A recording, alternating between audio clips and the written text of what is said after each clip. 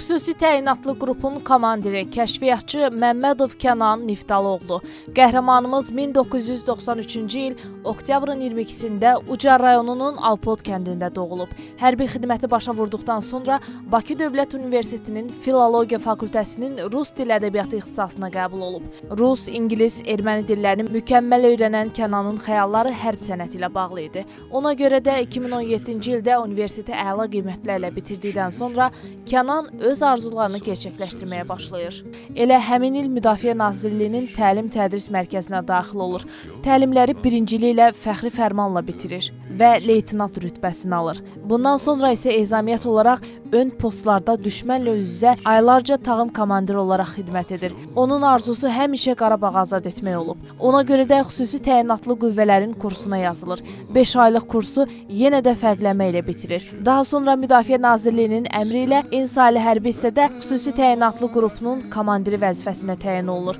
Kənan kimi hərbiçi qardaşı döyüşdən sağ çıxdığı üçün özünü qınayır. Hər qarış torpaq üçün dostlarının, canından bir parça olan qardaşının qurban getdiyini düşündükcə daha da qürurla danışır. Komandiri öz doğma qardaşı haqqında. Bizdən arxada gələn uşaq dedi ki, anar, biz ta ki o, orada bir aşırım vardı, onu aşana qədər, yəni o səni izlədi, müşahidə elədi. Bax, sən ta ki o aşırımı keçənə qədər belə baxdı arxanca.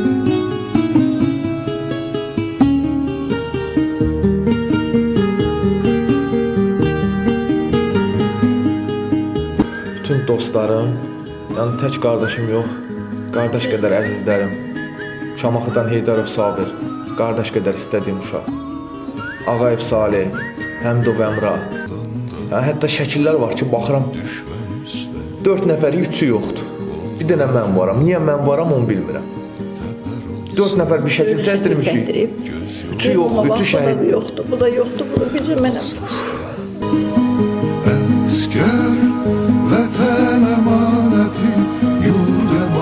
Mən general olacağam. Dedim, daha arzusuna çıxmadım. Ki, dedim, hə, istəyirsən ged ol. Getdi, getdi kurs keçdi. Xüsusi təyinat kursunu keçdi. Oldu leytenant, zabit. 27-si müharibə başlayanda o da hamı kimi müharibəyə getdi. Kənan bu müharibəyə çox hazır və həvəslə gedib. Kəşfiyyatçı Kənan Məmmədov Murova ilk ayaq basanlardan biridir. Bir çox tapşırıqları uğurla həyata keçirsə də, oktyabr ayının 2-sində Vətən müharibəsində şəhidlik zirvəsinə ucalır.